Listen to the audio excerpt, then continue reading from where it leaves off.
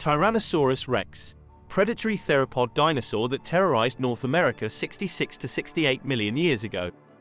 Or was it really?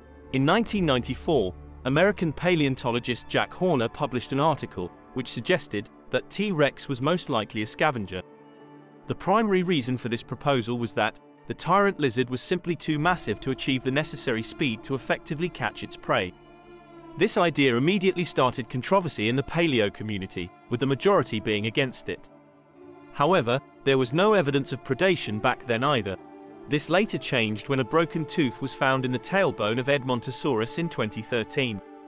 The bone is seen to have regenerated over the injury, indicating that the hadrosaur survived the attack. So, was T-Rex strictly a hunter?